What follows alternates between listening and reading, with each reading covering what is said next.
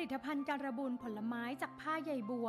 งานฝีมือจากกลุ่มวิสาหกิจบ้านท่ากระดุนตำบลท้อแท้อำเภอวัดโบสถ์จังหวัดพิษณุโลก ผลิตภัณฑ์บรรจุในชะลอมเวทีเอเปคเมื่อวันที่ 19 พฤศจิกายน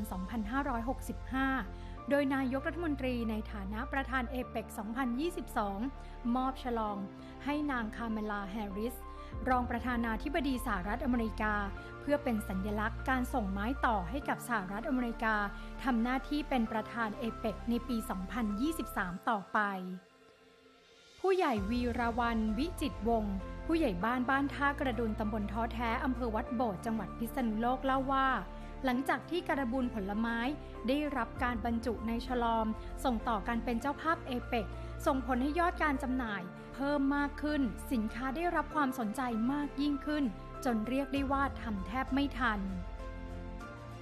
จากนั้นมายอดขายก็ดีมีแต่คนสั่งมีบางคนมาตามที่บ้านเลยมาขอดูอะไรเงี้ย แล้วก็ซื้อกันไปแบบเป็นพวงๆเงี้ยเอาไปใส่ในรถเนี่ยค่ะค่ะสั่งไปเป็นพวงนี้แล้วยังไง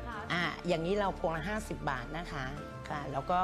ถ้าเป็นลูกๆอย่างเงี้ยเราจะขาย 3 ลูกร้อย ค่ะ ครับแล้ววัสดุของเราค่ะ ที่มาที่ไปของการทำผลิตภัณฑ์เหล่านี้ค่ะ อืม มันมียังไงบ้างจริง ๆ แล้วกลุ่มของเราโอท็อปของเราเป็นดอกไม้จากผ้าใยบัวนะคะ เราเมื่อก่อนเนี้ยก่อนที่จะเจอโควิดอะเราทำส่งสวนจตุจักรแต่พอเจอโควิดปุ๊บตลาดเงียบ เราก็เลยมาทำก็ยังทำอยู่ทำไปเรื่อย ๆ แล้วก็ ปรับปรุงไปเรื่อยๆ เอ๊ะเราจะทำยังไงนะ คือให้กลิ่นเหมือนว่าในห้องมันอับในรถอะไรเงี้ย ก็เลยคิดคดกันอันนี้ขึ้นมา ก็ช่วยกันทำฝีมือแต่ละคนก็จะต่างกัน บางคนทำฟักทองสวย บางคนทำเอามังคุดสวยอะไรเงี้ย ก็นั่นไป ถ้าลูกอย่างเงี้ยเราจะให้ค่าจ้างทำลูกละสามบาท ก็มี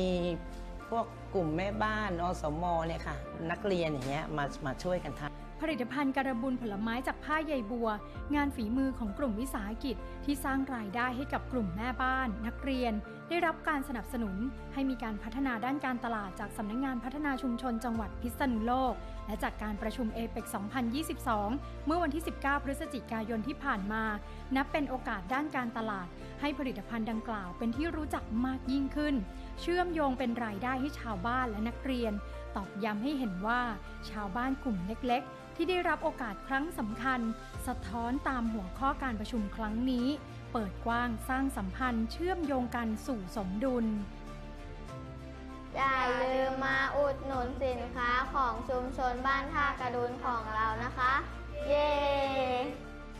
นอกจากการระบูนผลไม้แล้วกลุ่มวิสาหกิจบ้านท่ากระดุนตำบลท้อแท้อำเภอวัดโบดยังมีดอกไม้การบูนสีสันสดใสใช้ประโยชน์ได้ สามารถส่งต่อเป็นของขวัญของที่ระลึกสำหรับใครที่สนใจ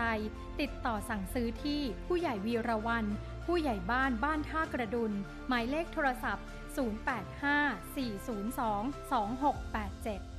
ขอเชิญทุกท่านนะคะ อุดหนุนสินค้าผลิตภัณฑ์จากผ้ายีบัว ของชุมชนบ้านท่ากระดุนเราได้นะคะ ที่หมู่ 8 บ้านท่ากระดุนตำบลท้อแท้อำเภอวัดโบดจังหวัดพิษณุโลกค่ะ เย้